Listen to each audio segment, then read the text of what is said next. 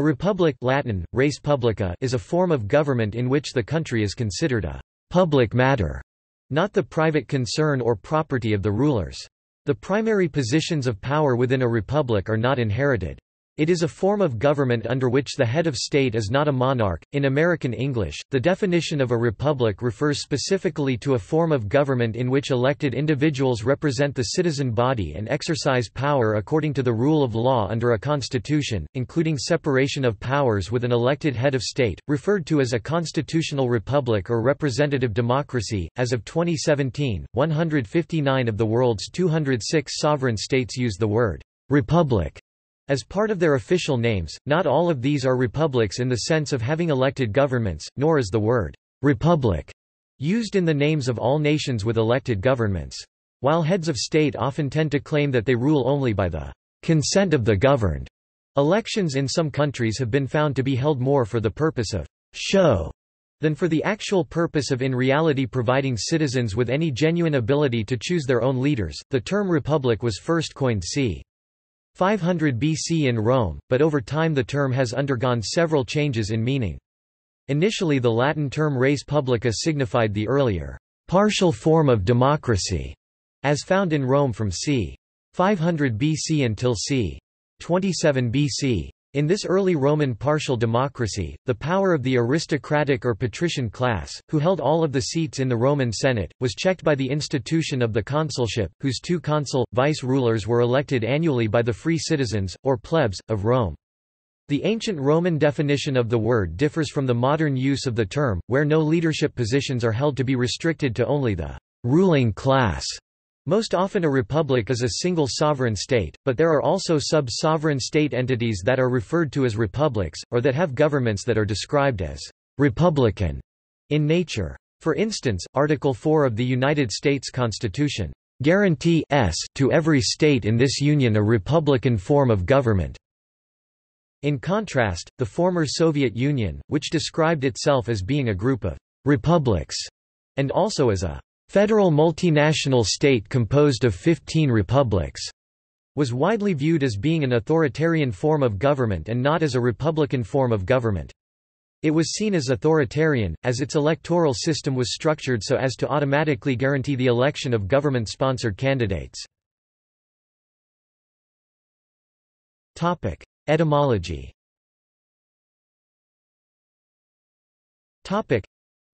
the term originates as the Latin translation of Greek word politeia.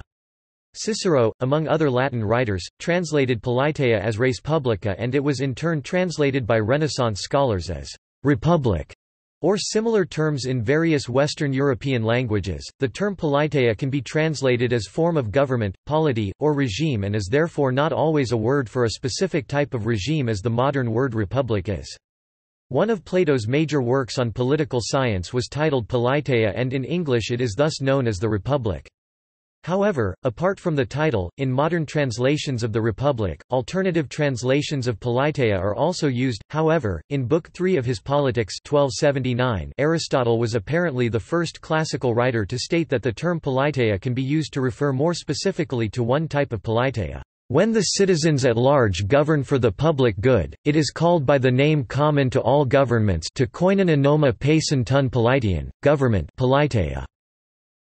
Also amongst classical Latin, the term «republic» can be used in a general way to refer to any regime, or in a specific way to refer to governments which work for the public good. In medieval northern Italy, a number of city-states had commune or signoria-based governments.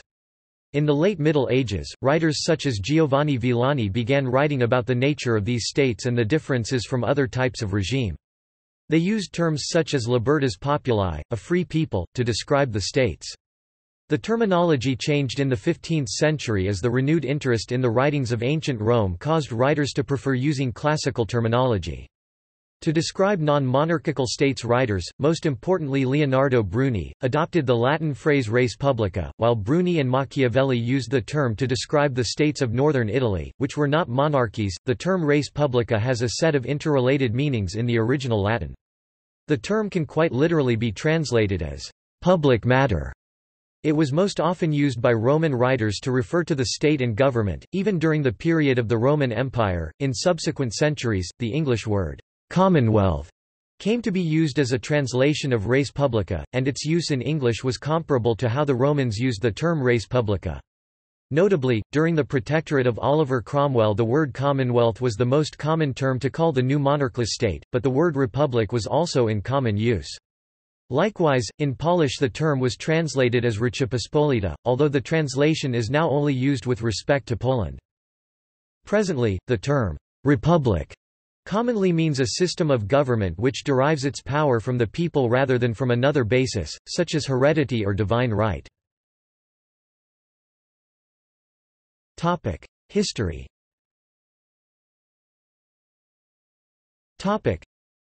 while the philosophical terminology developed in classical Greece and Rome, as already noted by Aristotle there was already a long history of city-states with a wide variety of constitutions, not only in Greece but also in the Middle East.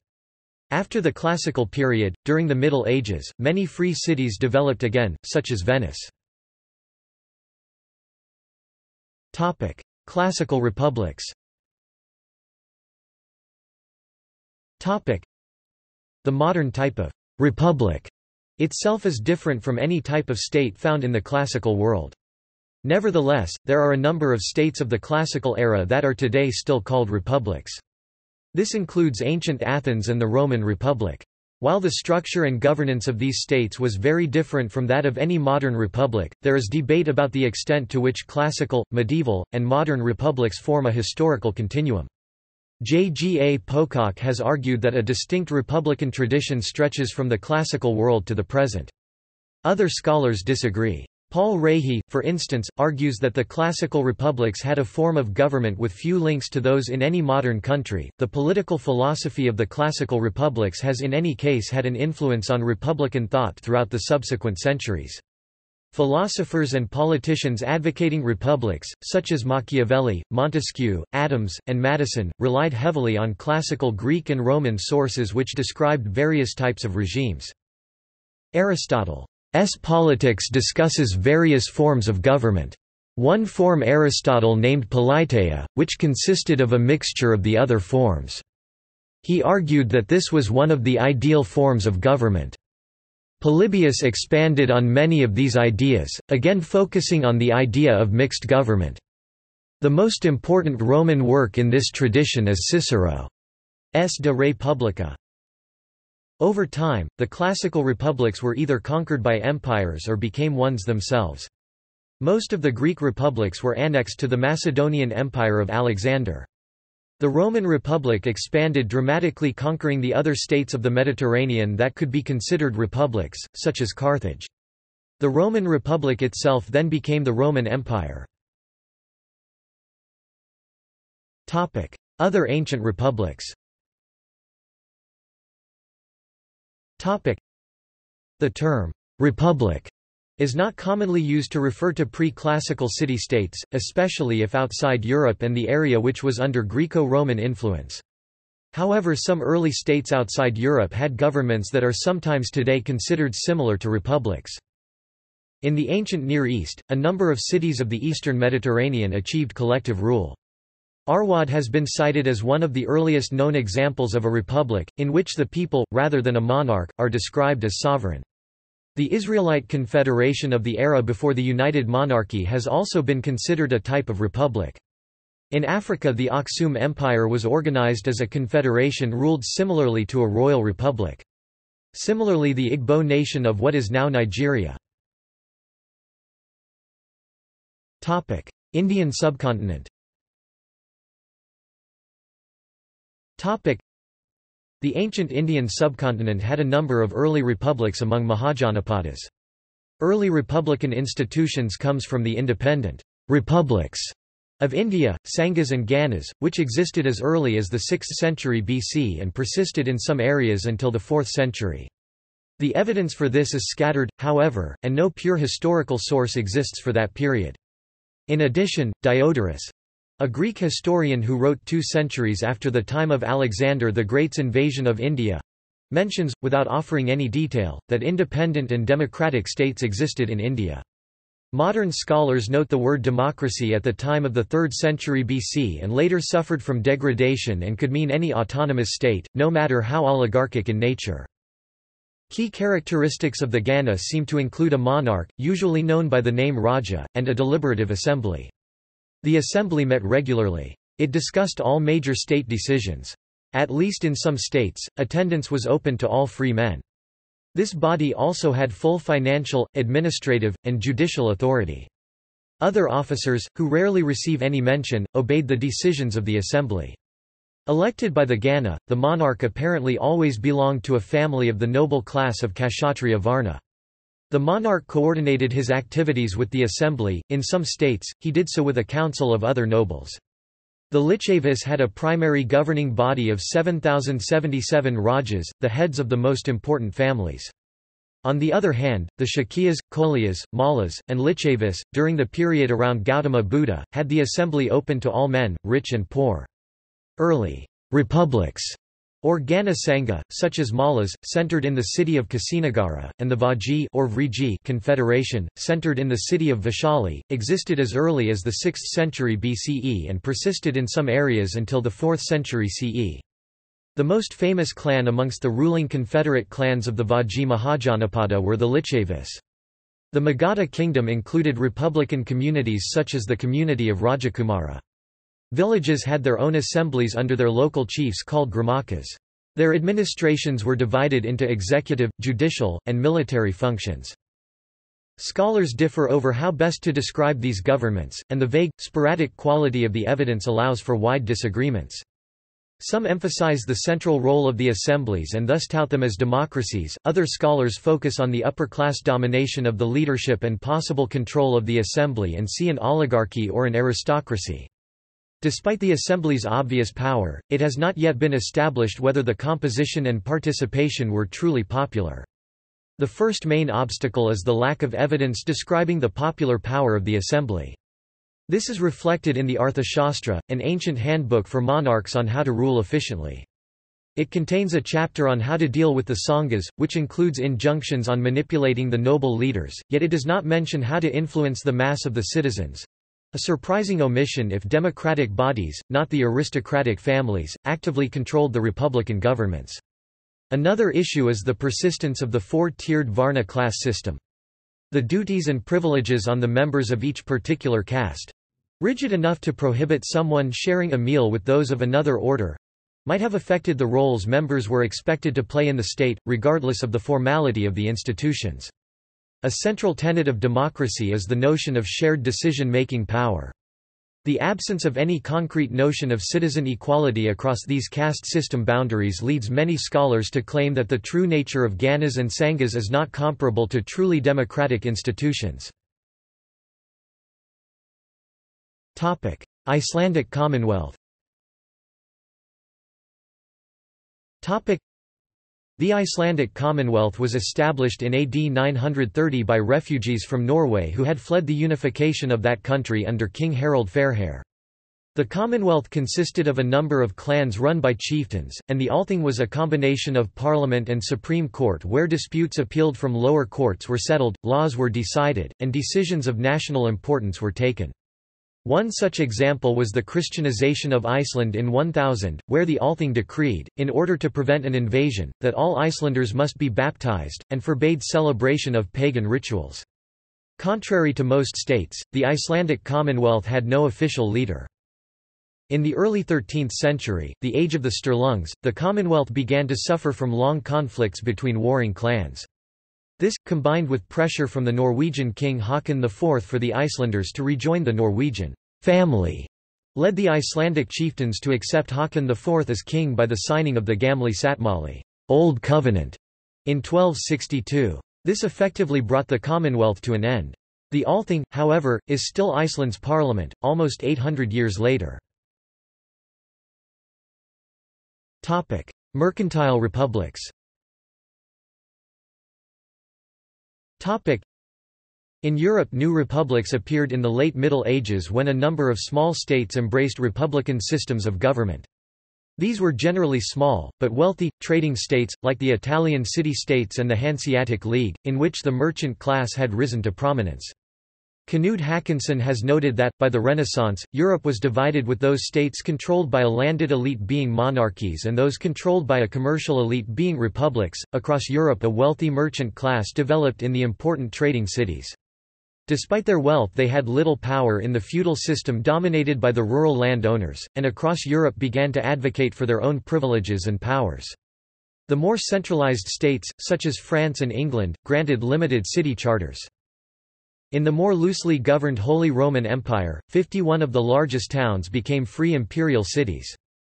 While still under the dominion of the Holy Roman Emperor most power was held locally and many adopted republican forms of government. The same rights to imperial immediacy were secured by the major trading cities of Switzerland. The towns and villages of Alpine Switzerland had, courtesy of geography, also been largely excluded from central control. Unlike Italy and Germany, much of the rural area was thus not controlled by feudal barons, but by independent farmers who also used communal forms of government. When the Habsburgs tried to reassert control over the region both rural farmers and town merchants joined the rebellion. The Swiss were victorious, and the Swiss Confederacy was proclaimed, and Switzerland has retained a republican form of government to the present. Italy was the most densely populated area of Europe, and also one with the weakest central government. Many of the towns thus gained considerable independence and adopted commune forms of government. Completely free of feudal control, the Italian city-states expanded, gaining control of the rural hinterland. The two most powerful were the Republic of Venice and its rival the Republic of Genoa. Each were large trading ports, and further expanded by using naval power to control large parts of the Mediterranean. It was in Italy that an ideology advocating for republics first developed.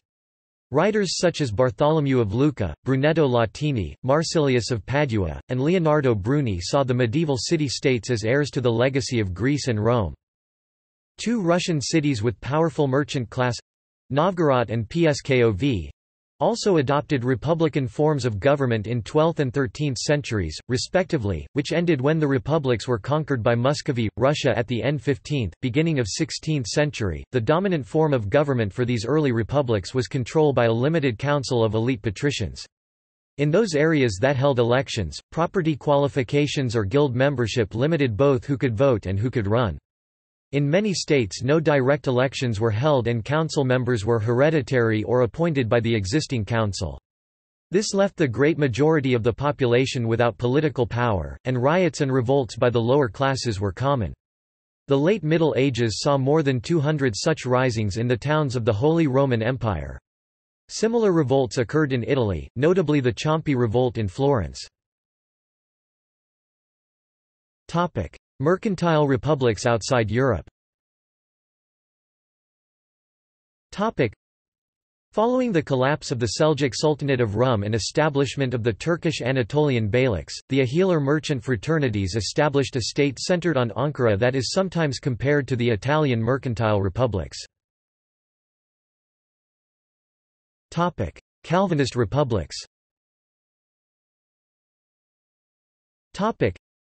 while the classical writers had been the primary ideological source for the republics of Italy, in Northern Europe, the Protestant Reformation would be used as justification for establishing new republics. Most important was Calvinist theology, which developed in the Swiss Confederacy, one of the largest and most powerful of the medieval republics. John Calvin did not call for the abolition of monarchy, but he advanced the doctrine that the faithful had the duty to overthrow irreligious monarchs. Advocacy for republics appeared in the writings of the Huguenots during the French Wars of Religion. Calvinism played an important role in the republican revolts in England and the Netherlands. Like the city-states of Italy and the Hanseatic League, both were important trading centres, with a large merchant class prospering from the trade with the New World. Large parts of the population of both areas also embraced Calvinism. During the Dutch Revolt beginning in 1566, the Dutch Republic emerged from rejection of Spanish Habsburg rule. However, the country did not adopt the republican form of government immediately. In the formal Declaration of Independence Act of Abjuration, 1581, the throne of King Philip was only declared vacant, and the Dutch magistrates asked the Duke of Anjou, Queen Elizabeth of England and Prince William of Orange, one after another, to replace Philip. It took until 1588 before the Estates the Staten, the representative assembly at the time decided to vest the sovereignty of the country in themselves. In 1641 the English Civil War began. Spearheaded by the Puritans and funded by the merchants of London, the revolt was a success, and King Charles I was executed. In England James Harrington, Algernon Sidney, and John Milton became some of the first writers to argue for rejecting monarchy and embracing a republican form of government. The English Commonwealth was short-lived, and the monarchy soon restored. The Dutch Republic continued in name until 1795, but by the mid-18th century the stadtholder had become a de facto monarch. Calvinists were also some of the earliest settlers of the British and Dutch colonies of North America. Liberal republics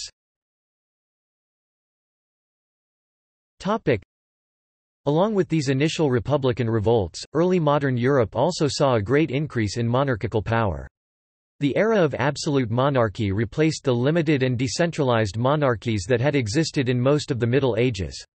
It also saw a reaction against the total control of the monarch as a series of writers created the ideology known as liberalism. Most of these Enlightenment thinkers were far more interested in ideas of constitutional monarchy than in republics. The Cromwell regime had discredited republicanism, and most thinkers felt that republics ended in either anarchy or tyranny. Thus philosophers like Voltaire opposed absolutism while at the same time being strongly pro-monarchy. Jean-Jacques Rousseau and Montesquieu praised republics, and looked on the city-states of Greece as a model. However, both also felt that a nation-state like France, with 20 million people, would be impossible to govern as a republic. Rousseau admired the republican experiment in Corsica 1755 and described his ideal political structure of small, self-governing communes. Montesquieu felt that a city-state should ideally be a republic, but maintained that a limited monarchy was better suited to a large nation. The American Revolution began as a rejection only of the authority of the British Parliament over the colonies, not of the monarchy.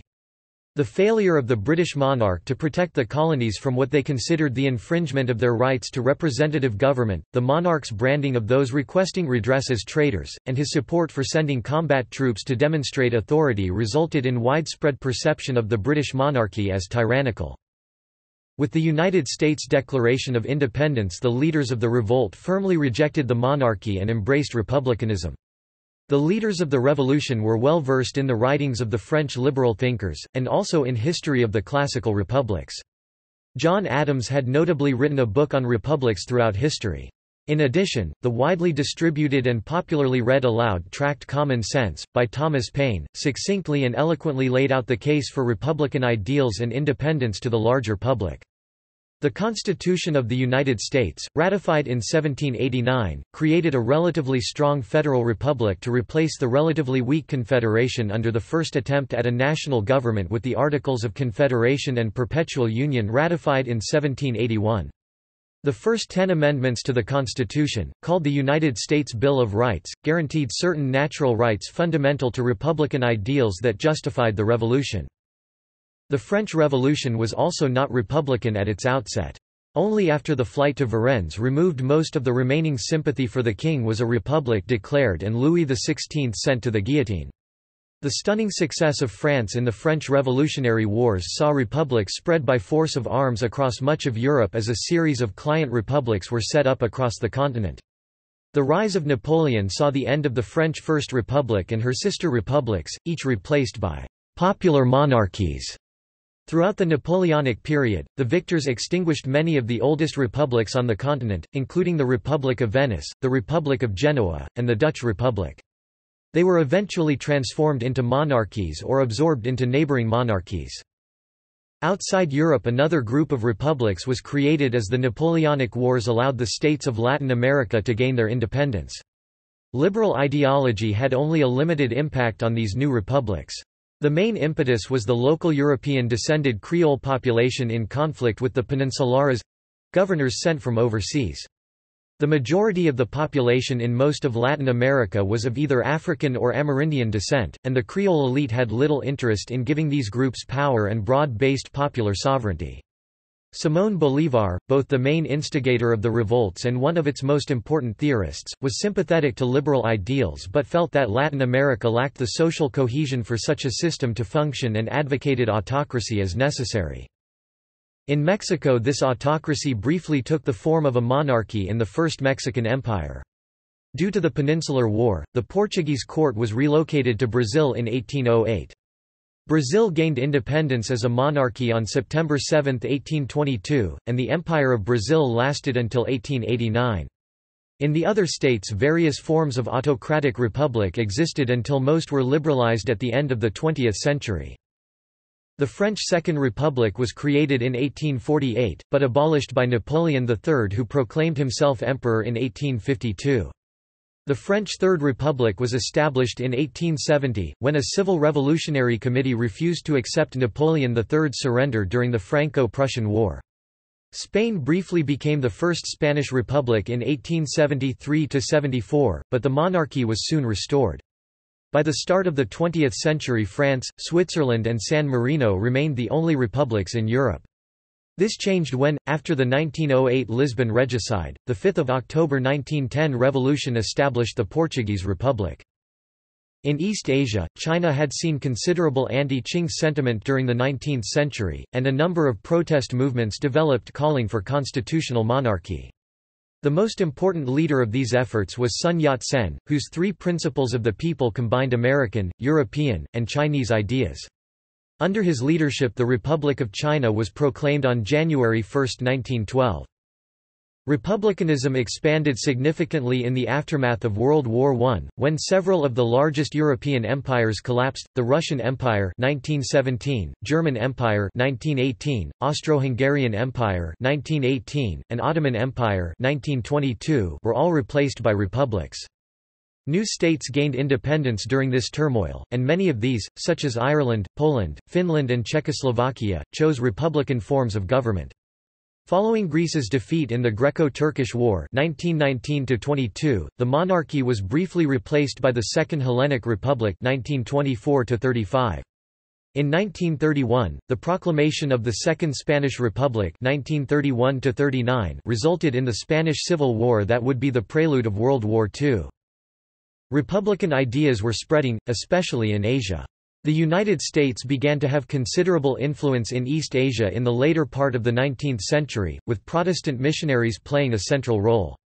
The liberal and Republican writers of the West also exerted influence. These combined with native Confucian-inspired political philosophy that had long argued that the populace had the right to reject unjust government that had lost the mandate of heaven. Two short-lived republics were proclaimed in East Asia, the Republic of Formosa and the First Philippine Republic. Decolonization in the years following World War II, most of the remaining European colonies gained their independence, and most became republics. The two largest colonial powers were France and the United Kingdom. Republican France encouraged the establishment of republics in its former colonies. The United Kingdom attempted to follow the model it had for its earlier settler colonies of creating independent Commonwealth realms still linked under the same monarchy. While most of the settler colonies and the smaller states of the Caribbean retained this system, it was rejected by the newly independent countries in Africa and Asia, which revised their constitutions and became republics. Britain followed a different model in the Middle East, it installed local monarchies in several colonies and mandates including Iraq, Jordan, Kuwait, Bahrain, Oman, Yemen and Libya. In subsequent decades revolutions and coups overthrew a number of monarchs and installed republics. Several monarchies remain, and the Middle East is the only part of the world where several large states are ruled by monarchs with almost complete political control. Socialist republics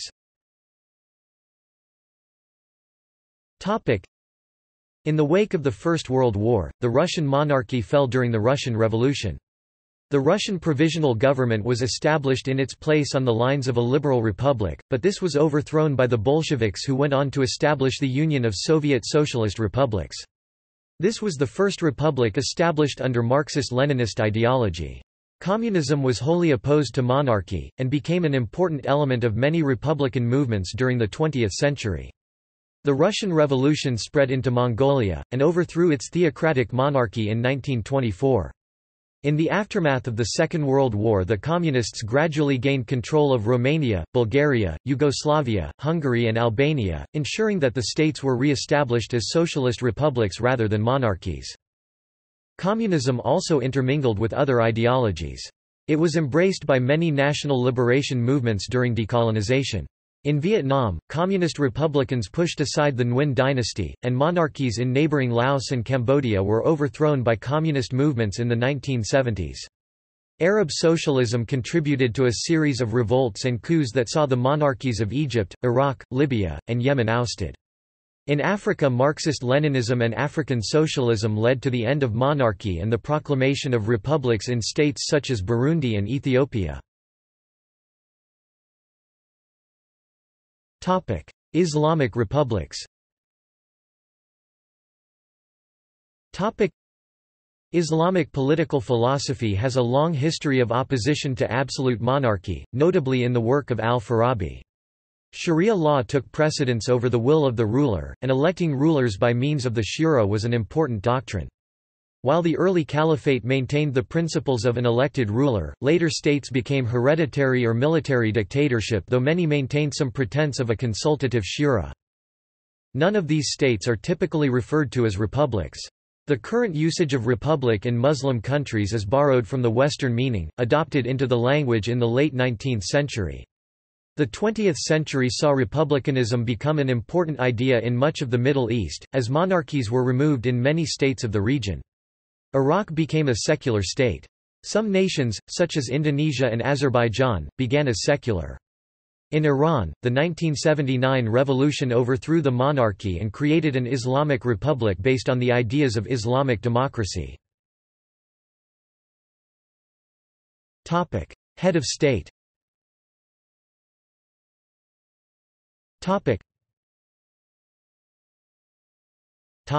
Structure Topic. With no monarch, most modern republics use the title president for the head of state. Originally used to refer to the presiding officer of a committee or governing body in Great Britain the usage was also applied to political leaders, including the leaders of some of the Thirteen Colonies originally Virginia in 1608, in full, the "'President of the Council". The first republic to adopt the title was the United States of America. Keeping its usage as the head of a committee the President of the Continental Congress was the leader of the original Congress. When the new Constitution was written the title of President of the United States was conferred on the head of the new executive branch. If the head of state of a republic is also the head of government, this is called a presidential system. There are a number of forms of presidential government. A full presidential system has a president with substantial authority and a central political role. In other states the legislature is dominant and the presidential role is almost purely ceremonial and apolitical, such as in Germany and India. These states are parliamentary republics and operate similarly to constitutional monarchies with parliamentary systems where the power of the monarch is also greatly circumscribed. In parliamentary systems the head of government, most often titled prime minister, exercises the most real political power. Semi-presidential systems have a president as an active head of state, but also have a head of government with important powers. The rules for appointing the president and the leader of the government, in some republics permit the appointment of a president and a prime minister who have opposing political convictions. In France, when the members of the ruling cabinet and the president come from opposing political factions, this situation is called cohabitation. In some countries, like Switzerland, Bosnia and Herzegovina and San Marino, the head of state is not a single person but a committee council of several persons holding that office. The Roman Republic had two consuls, elected for a one-year term by the Comitia Centuriata, consisting of all adult, freeborn males who could prove citizenship. Elections in liberal democracies presidents are elected, either directly by the people or indirectly by a parliament or council. Typically in presidential and semi-presidential systems the president is directly elected by the people, or is indirectly elected as done in the United States. In that country the president is officially elected by an electoral college, chosen by the states, all of which do so by direct election of the electors. The indirect election of the president through the Electoral College conforms to the concept of republic as one with a system of indirect election. In the opinion of some, direct election confers legitimacy upon the president and gives the office much of its political power. However, this concept of legitimacy differs from that expressed in the United States Constitution which established the legitimacy of the United States President as resulting from the signing of the Constitution by nine states. The idea that direct election is required for legitimacy also contradicts the spirit of the Great Compromise, whose actual result was manifest in the clause that provides voters in smaller states with more representation in presidential selection than those in large states. For example, citizens of Wyoming in 2016 had 3.6 times as much electoral vote representation as citizens of California. In states with a parliamentary system the president is usually elected by the parliament. This indirect election subordinates the president to the parliament, and also gives the president limited legitimacy and turns most presidential powers into reserve powers that can only be exercised under rare circumstance. There are exceptions where elected presidents have only ceremonial powers, such as in Ireland. Ambiguities the distinction between a republic and a monarchy is not always clear. The constitutional monarchies of the former British Empire and Western Europe today have almost all real political power vested in the elected representatives, with the monarchs only holding either theoretical powers, no powers or rarely used reserve powers. Real legitimacy for political decisions comes from the elected representatives and is derived from the will of the people. While hereditary monarchies remain in place, political power is derived from the people as in a republic. These states are thus sometimes referred to as crowned republics. Terms such as liberal republic are also used to describe all of the modern liberal democracies. There are also self proclaimed republics that act similarly to monarchies with absolute power vested in the leader and passed down from father to son. North Korea and Syria are two notable examples where a son has inherited political control. Neither of these states are officially monarchies. There is no constitutional requirement that power be passed down within one family, but it has occurred in practice. There are also elective monarchies where ultimate power is vested in a monarch, but the monarch is chosen by some manner of election. A current example of such a state is Malaysia where the Yang di Pertuan Agong is elected every five years by the Conference of Rulers composed of the nine hereditary rulers of the Malay states and the Vatican City State, where the Pope is selected by cardinal electors, currently all cardinals under a specific age. While rare today, elective monarchs were common in the past. The Holy Roman Empire is an important example, where each new emperor was chosen by a group of electors. Islamic states also rarely employed primogeniture, instead relying on various forms of election to choose a monarch's successor. The Polish-Lithuanian Commonwealth had an elective monarchy, with a wide suffrage of some 500,000 nobles. The system, known as the Golden Liberty, had developed as a method for powerful landowners to control the crown. The proponents of this system looked to classical examples, and the writings of the Italian Renaissance, and called their elective monarchy a Pospolita, based on res publica. Sub-national republics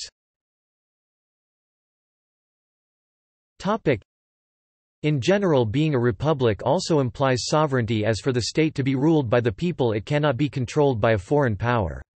There are important exceptions to this, for example, republics in the Soviet Union were member states which had to meet three criteria to be named republics. Be on the periphery of the Soviet Union so as to be able to take advantage of their theoretical right to secede.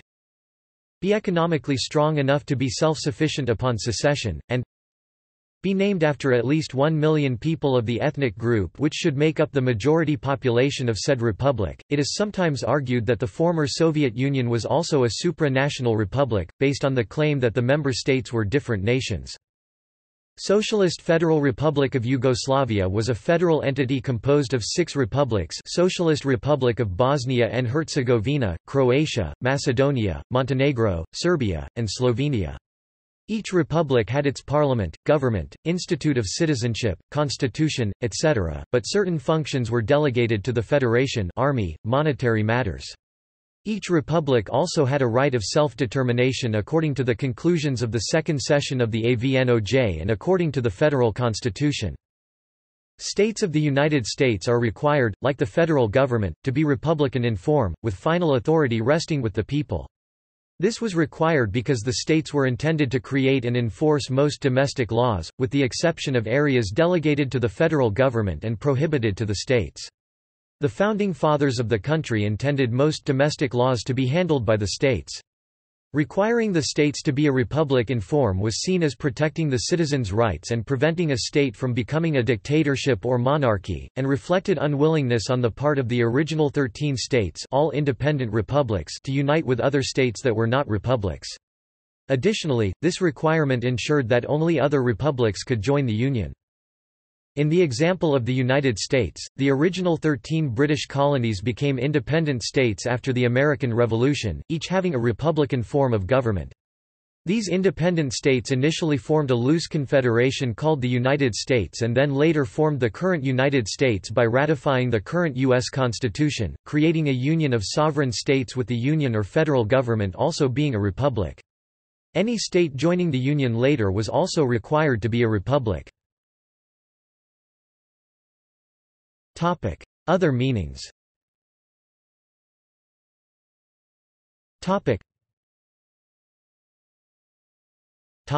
Political philosophy.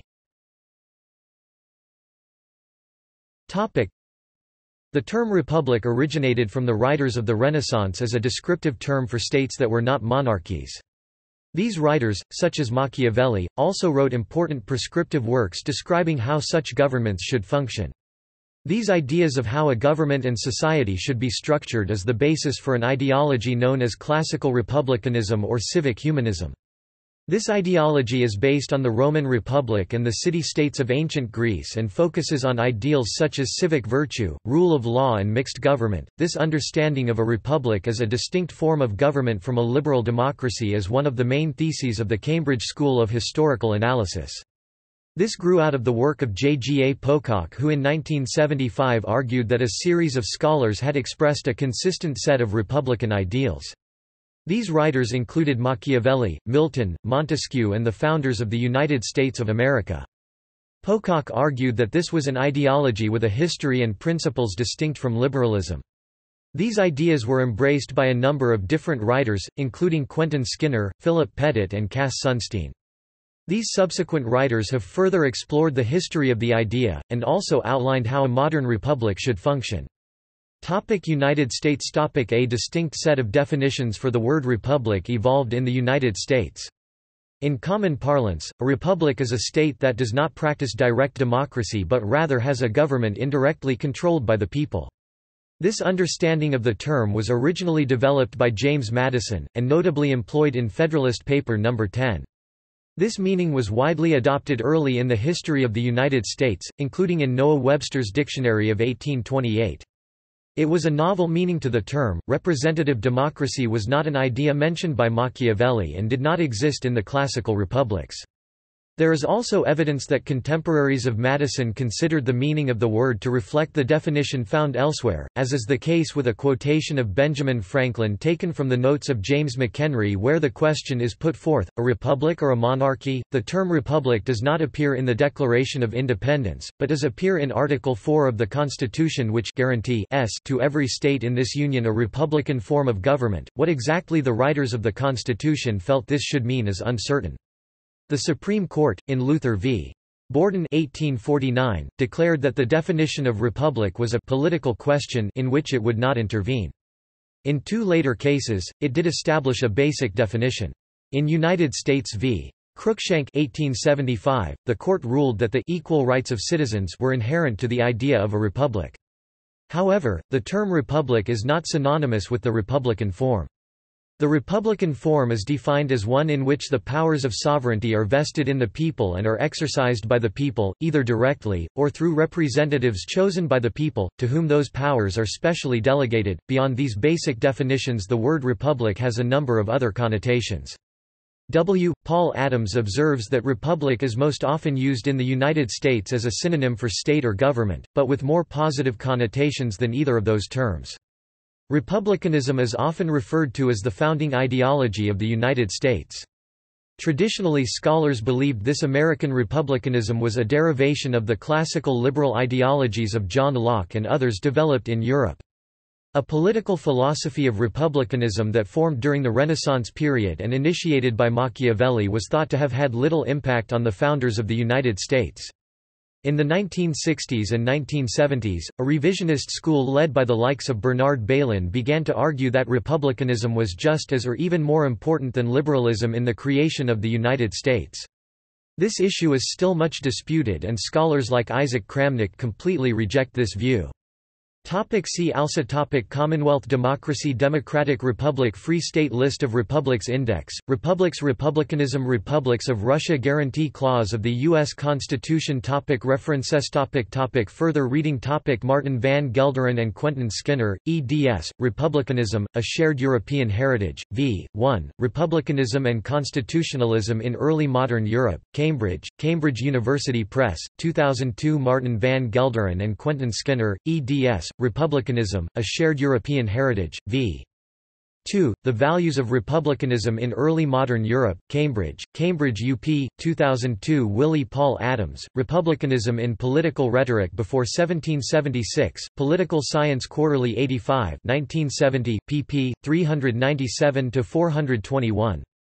Joyce Appleby, Republicanism in Old and New Contexts, in William and Mary Quarterly, 3rd Series, 43 January, 1986, pp. 3–34. Joyce Appleby, ed., Republicanism issue of American Quarterly 37 Fall, 1985. Sarah Barber, Regicide and Republicanism, Politics and Ethics in the English Republic, 1646–1649, Edinburgh, Edinburgh University Press, 1998. Gisela Bock, Quentin Skinner and Maurizio Viroli, eds, Machiavelli and Republicanism, Cambridge, Cambridge UP, 1990. Everdell, William R. 2000, The End of Kings, A History of Republics and Republicans 2nd ed., Chicago, University of Chicago Press Eric Gojoso, Le Concept de République en France XVIE, XV siècle, X, Marseille, 1998, pp. 205–45.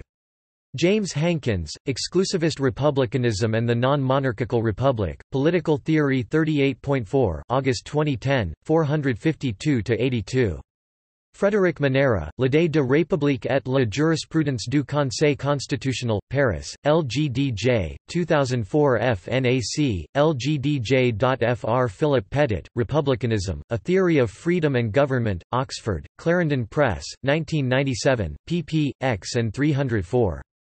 J. G. A. Pocock, The Machiavellian Moment, Florentine Political Thought and the Atlantic Republican Tradition, Princeton, Princeton University Press, 1975 J. G. A. Pocock, Between Gog and Magog, The Republican Thesis and the Ideologia Americana.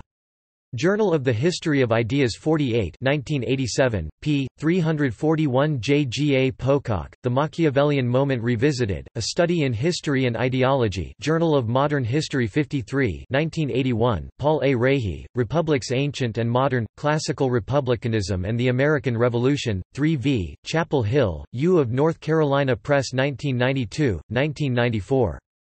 Jagdish P. Sharma, Republics in Ancient India, c. 1500 BC to 500 BC, 1968 David Wootton, ed., Republicanism, Liberty, and Commercial Society, 1649 to 1776. The Making of Modern Freedom Series, Stanford, CA, Stanford University Press, 1994, Thomas Corwin, Senate Speech Against the Mexican War Congressional Globe 1847. Topic external links Topic William R.